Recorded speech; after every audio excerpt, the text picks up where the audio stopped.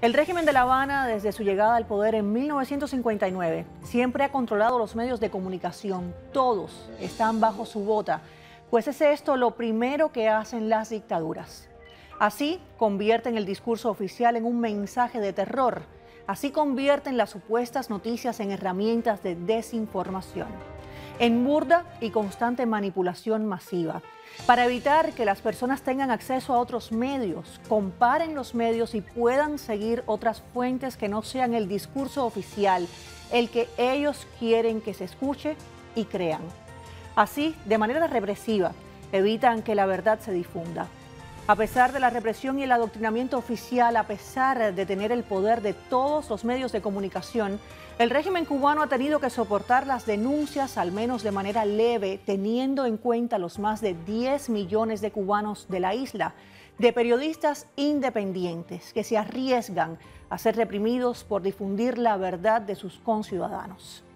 Esos valientes cubanos, más allá de los técnicos con que cuentan y de la difusión de sus trabajos dentro de la isla, son tal vez los únicos periodistas que verdaderamente ejercen de manera esencial la labor del periodista, que es informar, decir la verdad de lo que pasa en cada lugar desde donde reportan.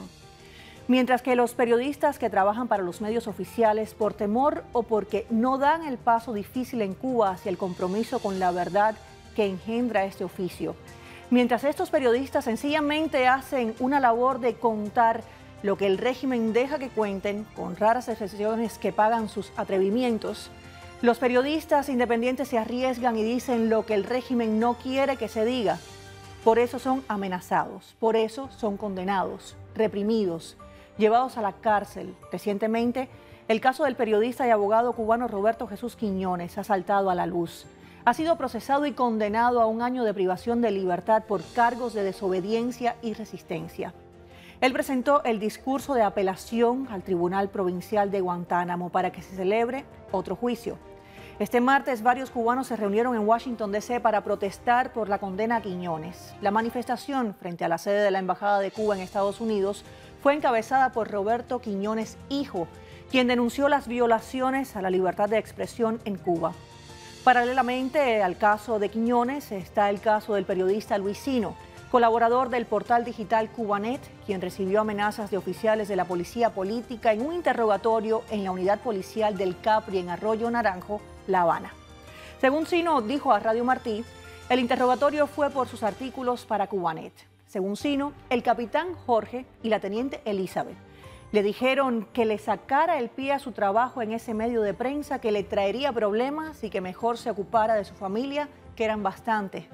También le sugirieron que se dedicara a la literatura, que se me da mejor que la política, así dijo, que yo no sabía nada de política.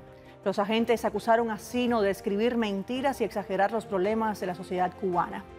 No son nuevas ni raras estas arremetidas por parte del régimen cubano, que nunca dejará de hacerlo.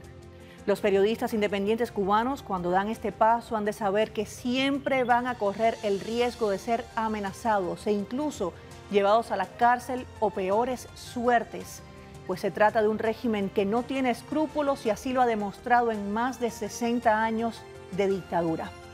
A esos periodistas, por su gran valor, por lo que representa decir la verdad, les enviamos desde aquí nuestro mayor respeto y, por supuesto, les damos las gracias por decir lo que los cubanos en su gran mayoría necesitan saber y muy pocos se atreven a decir.